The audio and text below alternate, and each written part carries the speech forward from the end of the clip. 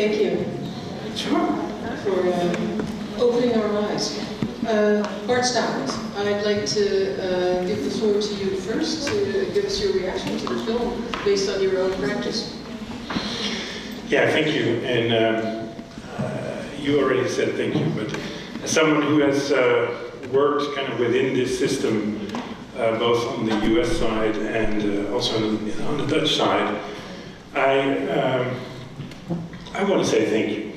Um, this is, uh, for lawyers, this is also the everyday practice, the reality that we're dealing with Yeah. and very often struggling against, fighting against for our clients.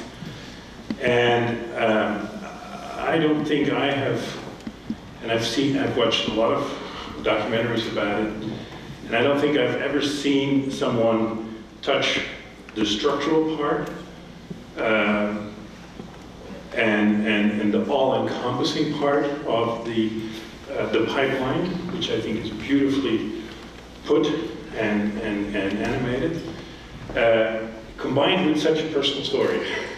And personal story, your personal story, but also the personal story of a number of people in the documentary. And I think that's, that's amazing. So I really would like to get, get an applause.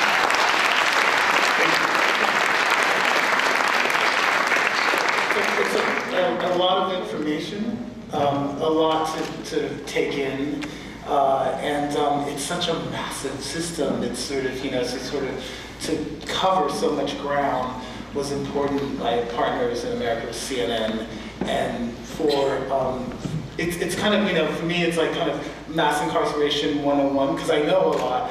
But, but for the CNN viewer in America, which is 100 million people, they, um, I got, when it aired on CNN, I got thousands and thousands of emails and, and tweets saying that they had no idea. Most Americans, believe it or not, considering the amount of films there are, have no idea how the system works and that there is this sort of massive sort of prison industrial complex. So their shock was sort of shocking to me. Yeah.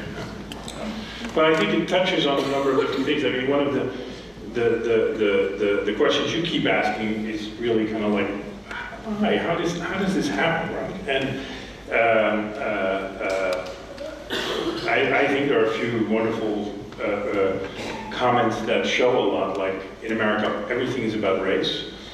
You know, I think that's very, very well put by uh, person who said that, uh, and I think Can that's... you, can you relate this to your own practice in those years that you had a community law center in New Orleans?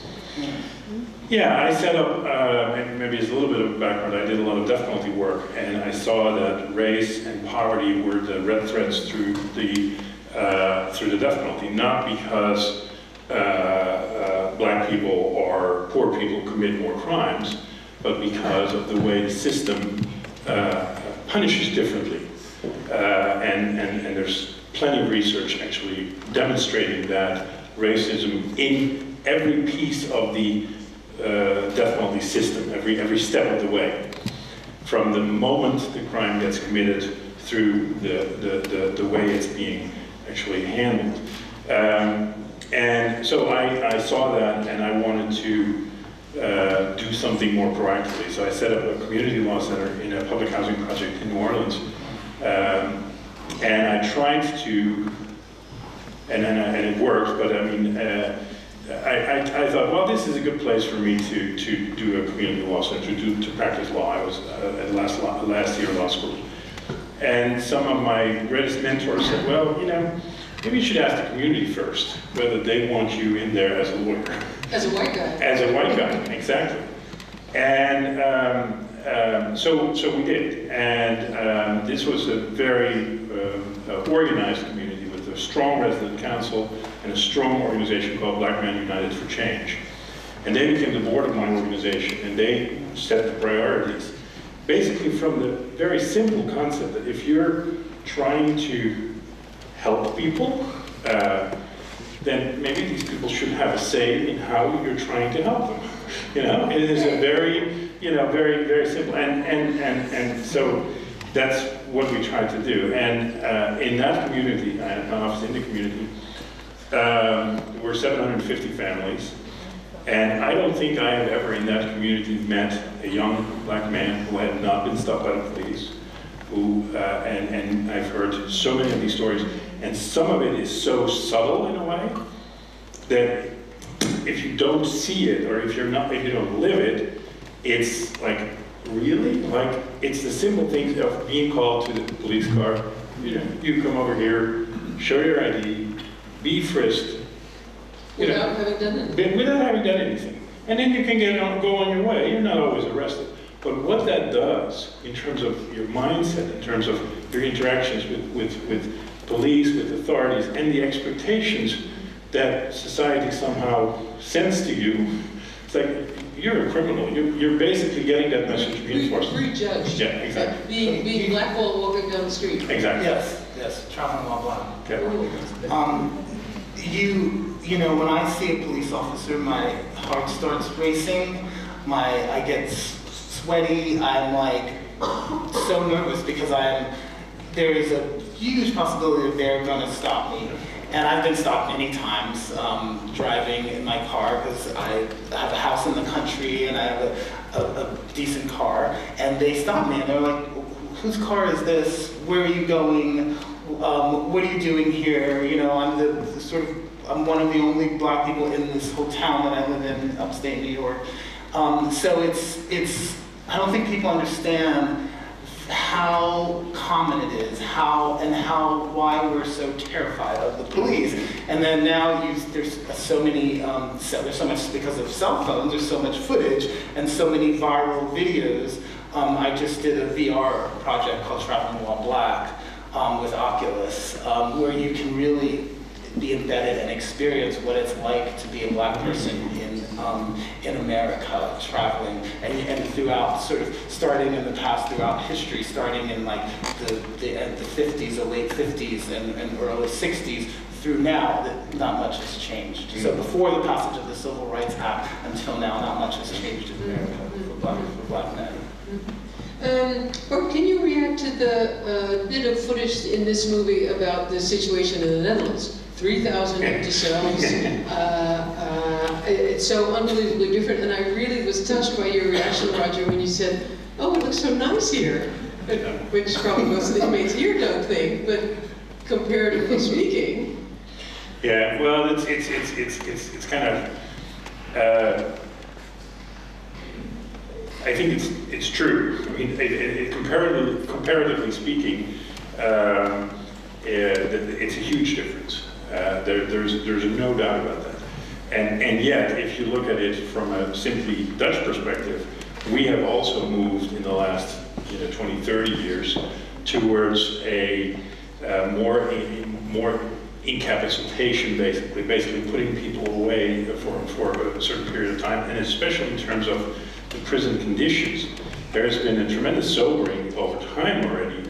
Uh, uh, people are locked up, you know, certainly from 4.30 in the afternoon to, to the next day, because there's no personnel. Um, so there are, there is, while it's comparatively speaking definitely a good system, there are some great things. There's someone in the audience who runs a, a yoga project in, uh, in, in, in prison. There are those kind of initiatives um, that are uh, uh, that are there, that are welcomed in certain in certain ways. But we have also moved a little bit in the wrong direction over time.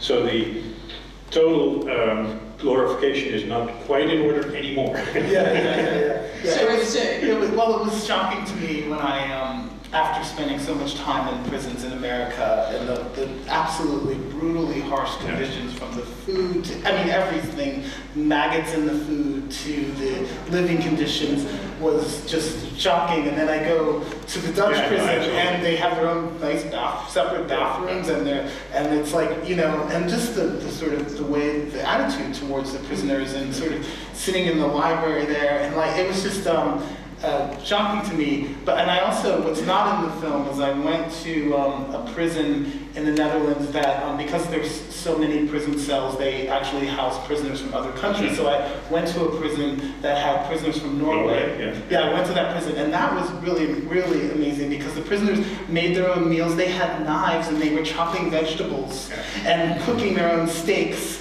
And they had a garden and they were gardening. And when I got to the prison, they were um, there was a, a volleyball, uh, beach volley. They have a beach volleyball um, court, and they had there was a beach volleyball match between the guards and the prisoners. And and no one and there's no guns in the prison. The guards don't carry guns and they don't have guns. And they were like, well, why do we need guns? Why would we have an adversarial relationship where we would need guns? And the, and the prisoners, you know, were so, especially the prisoners from Norway, a lot, they were so happy. They were like, we're here. I mean, that's, you know, I don't, and they didn't like, they didn't curate, they didn't say you can only talk to these, they, they gave me free reign. I could walk around the prison, go into any cell, talk to whatever prisoners. They, they, they were like all running around in the kitchen, watch them cooking. The knives are on chains, so they can't take them with them, but they're, they're using these giant knives. So it's, it was insane to me. I was like, wow, this is incredible. Well, there's, one thing I want to say, because I think what, what that says, and that, that's definitely something that I have, uh, I've always struggled with in the, in the US prison system, and jail system, the dehumanization. The dehumanization starts basically from the moment you get in there, you, you lose your own clothes. So you're forced to wear prison garb. And that in itself, although, you know, you'd say, well, it's a small step, no, it's the, it's the first step in the, in a gradual process of further and further and further dehumanization. And, and, and that's definitely something that is totally different in, in, in the Netherlands. You know, people in prison their own clothes, there is a sense of, there's much more of a sense of humanity. And I, I love the fact, I really, that you took the bathroom example, because to me too, that is, it is about dignity. It is about, you know, and it is senseless to, you know, have the bathroom in the middle of a room where there are eight beds. It is, just doesn't make any sense. Well, it's degrading. Exactly, except for to dehumanize and to basically put you in your place. And, and that part, I, I, I love the way you demonstrate. I Before we go to the audience, I'd like to ask you one thing, but um, could we have the lights up in the hall? There will be opportunities for questions. There's a microphone. um, That's better, I didn't see it. Yeah. I didn't So see it's, it. uh. There's also a a handheld. The handheld, and we also have a a interruption microphone here in the hall. But I wanted to ask you one thing first, Roger, that amazed me. For example, this talk with these three women about the uh, $545 that Yeah, very. you're, I mean, how much more does it cost to incarcerate this woman than to let her pay her minuscule debt? I was amazed that you were able to speak to these people so freely in, Yes. in an American prison. Yeah, so the reason, the reason that happened is because um, in my hometown, uh, like I'm well known in that town because um, after winning the Oscar, they had a ticker tape parade. They had the mayor, everyone. They gave me the key to the city. The governor of Pennsylvania came out, and I mean, and so I used that capital to say I want to get inside the prison. I want the mayor and the senator, Senator Casey from Pennsylvania, our, our he was the senator, to let me have access to the prison, and they gave me complete free reign. And I also got the um, head of um, incarcerations for the entire state of Pennsylvania, who has a system bigger than the whole country of the Netherlands. He has more people incarcerated in Pennsylvania than are in, in the whole system, prison system here to um, uh, who is actually quite progressive, and, he, and he's quite progressive because he came to the Netherlands and saw the prison. He took a tour um, and through the Netherlands prison system, and it changed the way he sort of saw his what he was doing in Pennsylvania. And because of that, and, I, and he did a TED talk about it, and because of that, I contacted him, went and met with him. He's an African American man, and he's like it is a disaster. And he goes, probably talking to you is going to get me fired. But he also like, Did it? gave me, it didn't, did not get him fired as, as of yet. Um, but he gave me, they gave me complete reign, which was, um, which was un, sort of unprecedented. Yeah, yeah. So you got to use your capital where, you know, Oh, to, sure. to do good. Use your tools when you go to work. Well, there's, there's one thing that, that I think is so ironic to bring it back to the, the, the daily rea- reality now is, you know, when you watched the Kavanaugh hearings last week, and, and we're talking about, you know, one of the, the examples that Adam called, uh, uh, asked the audience in his TED Talk, like, how many of you have been drinking while underage? We, we, we now are going to have a Supreme Court justice who basically lied to Congress about drinking underage. And, you know, I don't care about the drinking underage part so much, but about the fact that this is someone who had a number of clear youthful problems and also has been charged uh, uh, with a sexual assault in, in his juvenile years. And if you compare that with so many of the stories in your, in your documentary, and, and, and, and here, this guy's going to be confirmed to the Supreme Court, what does that say in a way about, about the country? And that part, that worries me. I, I, I, I, I love the US, I love, I love working there, but that punitive nature and the, the, the, the racism that runs through the whole system uh, is, um, is, is, is also, you mentioned at one point, there's no real light, you know, uh, no, no real light at the end of the tunnel here. And I think it is, it's, it's very, very disheartening. Yeah, yeah. The police are not in those frat houses and in the suburban Exactly. white communities Exactly. where those guys are drinking and doing drugs. Um, they are in uh, black communities and communities of color and focused on those people. And those people and people in those communities do not have a have a chance the way a privileged person like Brett Kavanaugh. And it's just it's a, it's you know, that's the reality of America. And Trump has turned back the clock on mass incarceration that Obama was really, and Eric Holder were really pushing for reforms. And really, um, that was one of his missions, to reform the criminal justice system. And now it is completely reversed. Um, and it is, we are heading into even darker times. So, you know, I'm, I'm having an event um, a couple weeks for um, uh, a guy running for Congress in my district. It's the, all about the midterm elections for us. So we hope, hopefully that's going to change things. But it's a dark time for, especially, especially for criminal justice. The word is for the audience. Could we have the lights, please? Oh, we have a disco. Oh, but they don't have that in jail. Your questions?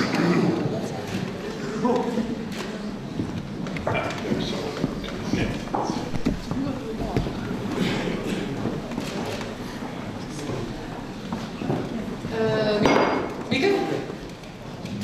Hi. Over here, gentleman over here, and then this lady uh, at the microphone. And you have a little bit more light. Could we have some more light, please?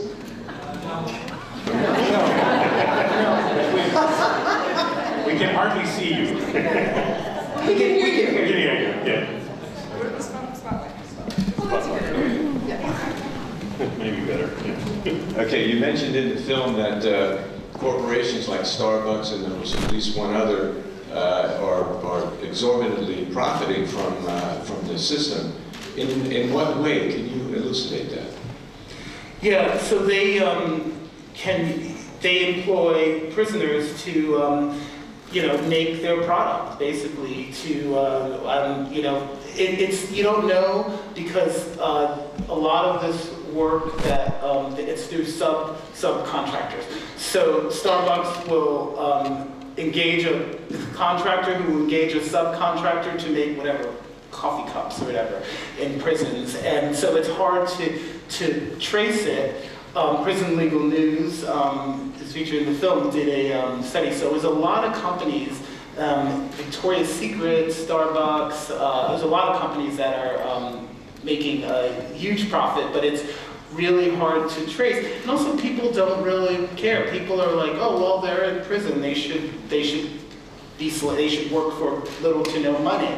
But families, their families, they still have families to support. These, these um, people who are incarcerated still have children, and um, and they have to, and, and the, they, without that income, those families are suffering. So it affects whole communities. Um, and these corporations are getting labor for little to nothing, and there are certain states where they can, where they have to work completely for free.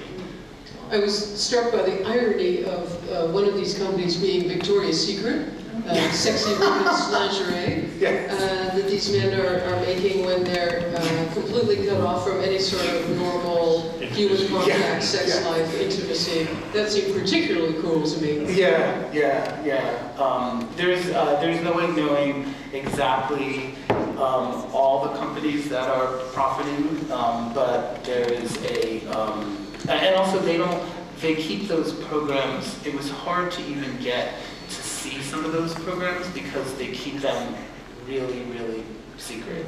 They really don't want you to know. It's super embarrassing to a corporation, especially a progressive company like Starbucks, mm-hmm. which base its whole identity on being, you know, progressive. Um, to and you know, Starbucks had what would they do? Like I think it was last year they had all their baristas write race on the on the cups. You know, there's a company that they want to uh, be sort of confronting race and the, and the race problem in America, but they're profiting off of it. Mm-hmm. We had a question, in the, yes, I saw you have the microphone, yes, please. Sorry, thank you. Um, I wanted to ask you about Could you pull the alternative- microphone towards you so we can hear you better? Yeah, thanks. I wanted to ask you about alternative sentencing. Um, when I went to law school a long time ago, it was something that I saw in courts in Massachusetts and New York, and it was the beginning. I was wondering whether it's blossomed since then, or if you saw it um, in Yeah. Pennsylvania or Louisiana. Yeah, no, I, I, I, I'll, I'll say something first, and then, that- I mean, there are definitely some initiatives. Uh, uh, one initiative that has, uh, I think, yeah, really taken, a- taken, a, a- has, has grown a lot, are the initiative of drug courts. So basically, it is a, uh, yeah, a setting where you show up in court every week, and a judge, and that usually are the judges that are, you know, not not as punitive as some others, uh, um, uh, talk to the, to, to the people in the program about th- their progress in terms of jobs, in terms of um, uh, education, and then they're drug tested every week. I, I, I, personally, I like those programs because they're better than jails, but there's still a very punitive aspect to it. You know, it's, it's still a judge, it's still a, a, in a way, like you do this or, or else. Um, I think a lot of other more alternative sentencing setups have uh, really, in, in, uh, over time, dis, you know, dis- disappeared or have, have not grown. Certainly, there are pockets in, in the U.S. where these initiatives are, are, are used, uh, but it's small and it's not at a, at a state at a state level or uh, federal level. Um, there- there's been a, uh, the sentencing guidelines have been adjusted under Holder, um, and and that has led to the release of a, a great number of non-violent drug users, uh, and so that was that was progress. But um, the real issue to me is almost what's what's behind people getting in trouble, uh, and how do you deal with that piece? Uh, and and and unfortunately, there is is very very little uh, uh, attention for that, and that has certainly not, you know, uh, uh, increased enough. Let's put it that way. For prevention. For prevention and, yeah, for, for, well, prevention and early intervention. You mentioned that early intervention at one point, early intervention, because that's really, in a way, what's, what's often necessary. If someone gets in their first trouble, okay, then you can choose the punitive track. You can say, okay, well, we put, we put you away, or we, even for a few days, we put you in the, in the, in the lockup. Or we say, well, what's really going on here? And, and there are some great, there's, there's, um, New York, there is the, uh, uh, Brooklyn Defenders. Uh, there are some, some great places where they do holistic lawyering, where they do a holistic approach and say, okay, what's really going on? Why is this kid getting in trouble? Well, what's, what's going on in the house? Uh, what's going on with the parenting? What's going on with immigration status, which is a huge issue? Uh, what's going on with employment? Well, you can't just pick one thing out and say, oh, bad boy, you put him away. No, you've got to do that in a, in a more holistic perspective. And, and that's, you know, there's, there's some things going on with that, but not, not enough. No, I mean, I think, you know, there's, there was a, uh, there's a growing um, industry, another industry called, the, they call it the treatment industrial complex, which is um, people sort of, you know, not really coming up, people profiting off of um, the, the idea of, of treatment, um, of, of people who are you know, addicted to substances, but also um, not with any real sort of success. It's sort of it's become another industry, and there's a you can um, I think that uh, there's a lot of connections between um, sort of you know sort of this big business and and how to how to make money off of that. So it's all about you know it's always about money. Isn't it? Pharmaceutical, pharmaceutical companies. Pharmaceutical companies, yeah. Question. Hi, how you doing? Um, I have a lot of thoughts in my head, so I'm sorry if this comes out a little bit jumbled, but I've lived here for 14 years, and I also am the chair of Democrats Abroad Netherlands, so if you need to register to vote, come see me afterwards. Um, that being said, something that's really important to me is the idea of community in this country. I've lived here for 14 years, and I think one of the reasons why um, the prisons are closing is because there's an idea of community, to take care of people, to give people help, instead of incarcerate them. And that's led to less drug use, less drug crime, everything that we associate with that. So my question is, how do we solve this in the US? Do we focus on legislative? Do we focus on building community? Do we focus on teaching people empathy, to care about people, even though they made a mistake? Like, where do we even begin? And do you have any ideas? I think it's all of the above. I think it has to be community initiatives. It's, everything is local. So it's about, it's about local law enforcement. It's about local, whether it's local churches, it's about, it's a definitely local is, is where you start with initiatives.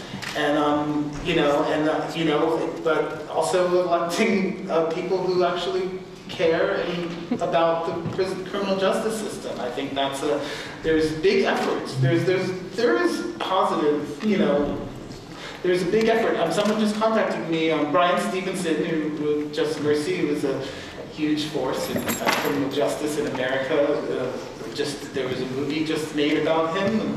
Michael B. Jordan is uh, playing, uh, is starring in the, in the film Just Mercy. And there's a 50 million, a bunch of funders have raised 50 million dollar initiative around the movie, around outreach and engagement, and they want to do a series of documentaries and films. And so there's there are people working towards the towards you know upcoming solution. We're right now battling a tough administration and, and a tough justice department, but um, there's there's hope. Roger, this is a good Well, sorry, there's one- yeah. I think the, the- the, I think the voting part is, is, is absolutely crucial. I mean, I, I think all these initiatives are so important, but, um, you know, if you just uh, uh, look at the, the past eight years, the, the, the the progress that has been, has been made on uh, criminal justice reform, and there was even some bipartisan support. Even the Koch brothers started piece, uh, supported pieces of the criminal justice reform. So there is some, some way to get out of this. Uh, it does take some political pressure and does take some people to take the lead. And uh, Holder was willing to take some of the lead in, in, in Obama himself. Obama was the first sitting president to ever visit, visit a prison. And it was a small visit, it was orchestrated. If you look at the scenes, you're like, oh, well, yeah, it's a little bit uh, for the show. But at the same time, the symbolic value of a president actually sitting down with prisoners and listening to them and talking about what it's like and you know how they look at their situation to me was was very moving and and it, so that's an important piece the, that has to be democratic reform so that it can be on the agenda uh, and, and can stay on the agenda. And until Um, you do... You're working on something now called the Innocence Project, yes, 10-part series. 10-part series for Netflix. Um, the Innocence Project is a, I don't know, how many years has the Innocence Project? uh, well there are different pieces but the, the, you're working with Peter and, and Barry Scheck. What is the Innocence Project? okay the innocent you know you, No, you you're, explain. you're making You know more, I'm just sorry, you know more about this, you've done more work. Mark can tell us what it is, and then you can tell us what you're doing. Well, the Innocent Project, uh, it's, it's funny, it started in part a little bit with the, uh, the growth of DNA evidence in, in, uh, in, in criminal trials. And then it became more obvious, it was always obvious somewhat, but became more obvious that a lot of people had been convicted uh, while they were not guilty of the crime. And uh, actually really not guilty, like someone else did it, they were not around. Uh, not like, well, it was manslaughter instead of murder. No, it's like someone else did it entirely did it.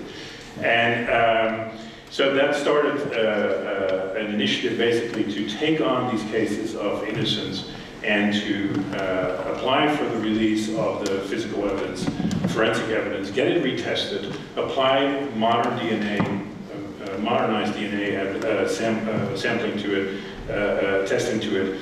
And so Were that were these cold cases, Bart? Were they long ago or were they recent? no, the- the- a mix, a mix, some, some very, very long ago, some more recent, yeah.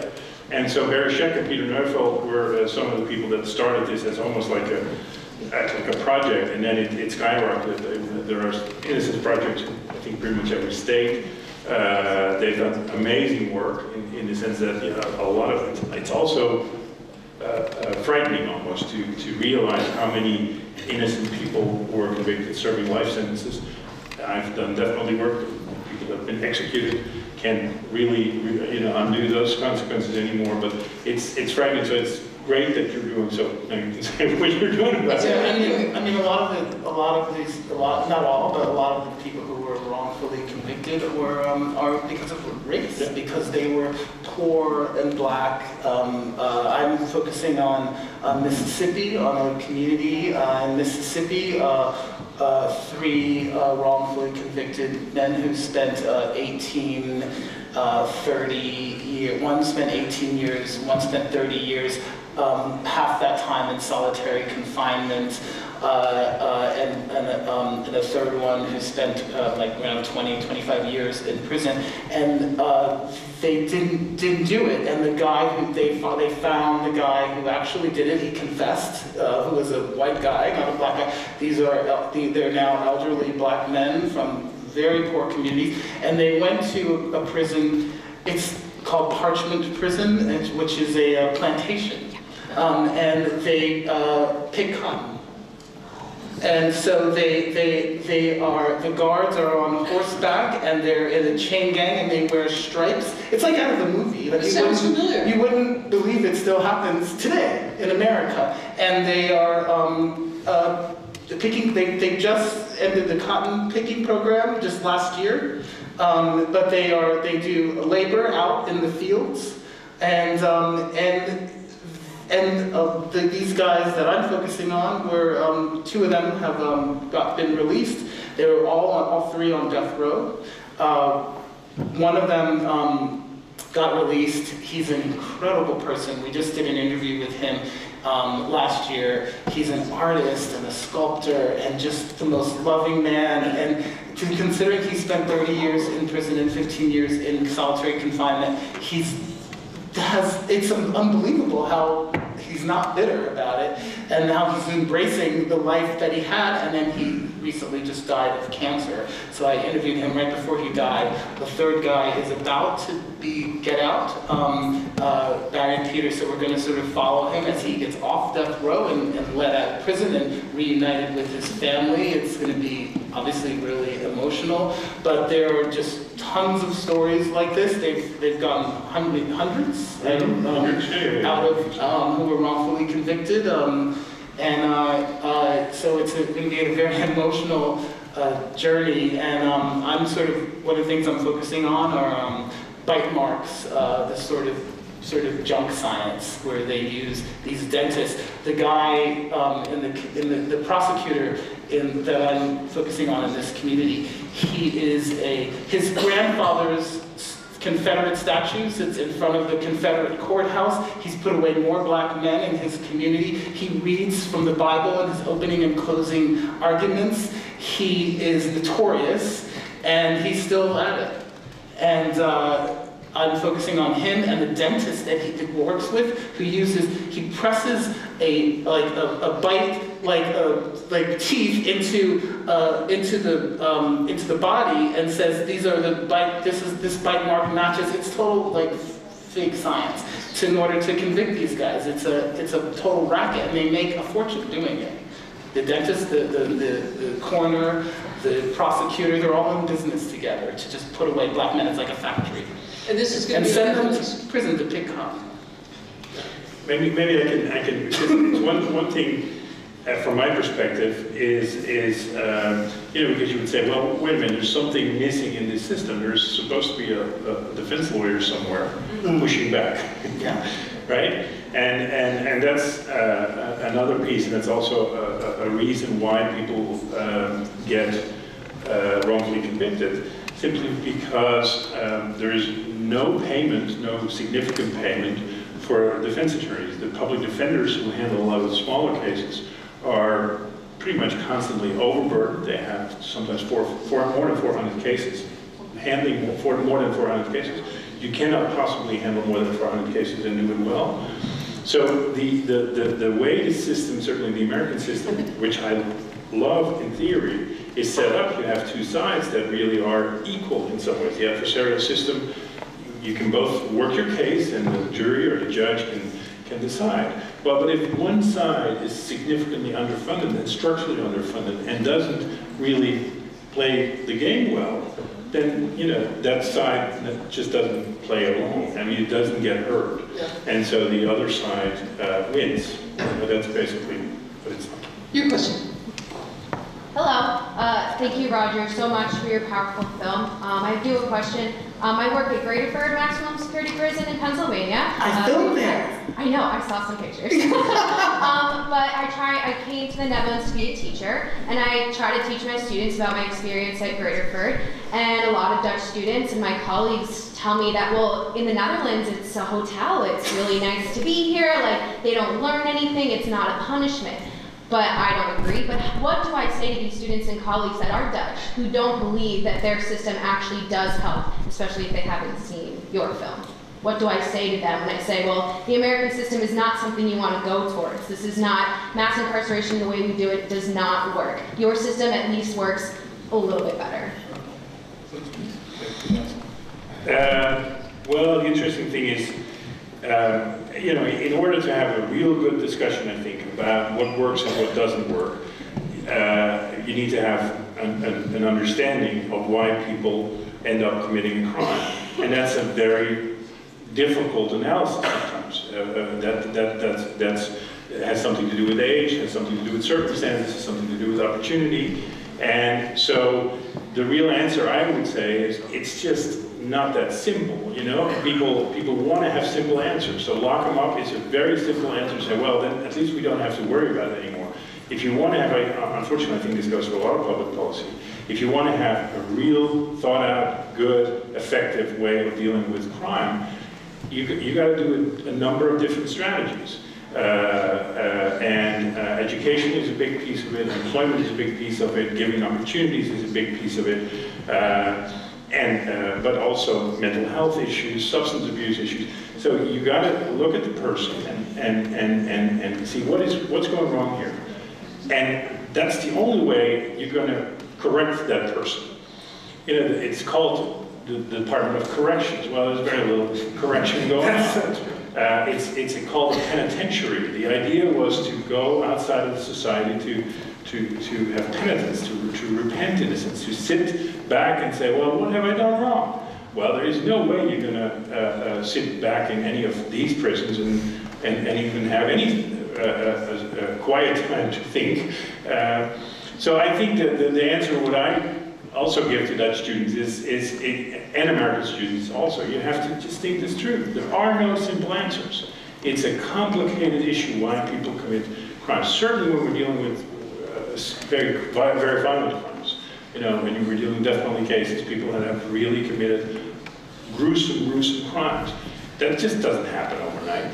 You know, it's not a conscious decision. I get up in the morning and say, well, I'm going to kill somebody today. It's a mix, it's a combustion. And unfortunately, we all have, in a society, we have to look at that combustion. We have to struggle with it and say, where can we, where can we do something?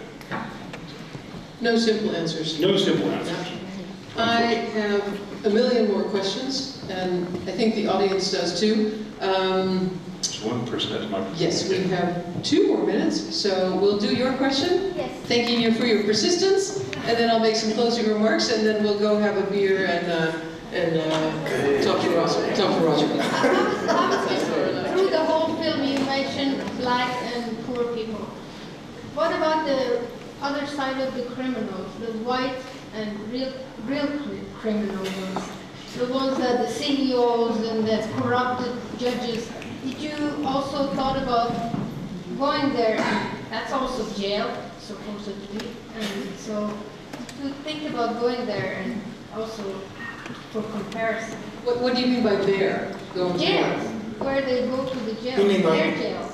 You mean like federal, um, like the, whatever the, Yeah, like yeah. where, where Martha Stewart went? The Yeah, camp. yeah, I mean, Those are the no. So- I wonder if they do community, like making Victoria's Secrets, uh, No, I don't think so. Um, I mean, it'd be good if Martha Stewart got to do the Victoria's Secret, um, job. but um, she'd probably be good at it. Um, no, I mean, for me, you know, this was about my own experience as a, as a, connected to, to this one, to the, for- it's uh, extension of the farmer question. Can you uh, formulate it in, uh, in one sentence? One sense Well, uh, what prison does a person like Paul Manafort go to now? I understand that he is in prison, where would he be? Yeah, it's a very good question. Uh, uh, because you have a lot of different, different prisons. You have the, the big state prisons like Parchman or Angola uh, that are former plantations uh, that are where, where those are not the type of prisons where Paul Manafort or other or white collar criminals go to. They are going to, uh, they're always in the federal system. The federal uh, prisons by and large are a lot better, although part of the federal prisons are also uh, um, contracted out to uh, uh, to private uh, companies, and they, they don't do well. But uh, no, they, they, they're called camps, and the camps. Uh, well, I've, I've been to a number of camps, and there's uh, one of the camps in Pennsylvania, actually in uh, uh, Western Pennsylvania. There's a nice uh, uh, picture on the wall. Like people come here uh, as punishment, not for punishment. And, you know, it's like almost similar to what the Dutch representative said. So there's a tennis court, there's a little bit more, yeah, freedom to roam around. There is a good library. Uh, uh, No there's, maggots in the food? there's no maggot, there are no maggots in the food. So it's a different, there, within the prison system, there's also a huge difference. And, uh, uh, yeah, it's tied to race as well. You can't, you can't hide it. I have friends whose parents, father went, a friend's father went to a, um, for, you know, white collar crime and made business dealings and came out richer from being in prison than he did, did going in because you're there with a lot of, you know, guys who you can make, you know, deals with, um, who are also white collar criminals who have power and, and privilege. It's a network. It's a network in, the- in the prisons, in those, in those prisons. But, you know, the majority of people in prison, the, the, the fifty percent of the prisons that are, that are, that have African American, um, in, in there, and the majority of prisons are, And Latino. uh, and Latino, and, and, yeah, it's just a grim, it's not like that at all. That's a tiny, tiny, tiny fraction of people. Well, before we say goodbye to our guests for this evening, before we go for a beer, I wanted to tell you that Roger is going to be live on Bad Wolf this weekend on Sunday at noon. And uh, it might be interesting to tune in and uh, see what he adds to the discussion here. And um, for other interesting events coming up at the John Adams soon, October 18th, Jonathan Capehart, who is a political commentator, a Washington insider, also black, also gay. I love by John the way. Capehart, it's amazing. Come back, Yes. October 18th. He's at the John Adams. November 4th, the novelist Richard Powers. November 13th, the historian Timothy Snyder. If you don't know Snyder, you might come across him if you go to see the new film by Michael Moore. Timothy Snyder is one of the people he interviews, and he has some really sharp observations. November 30th, Christiane Amanpour, the queen of CNN.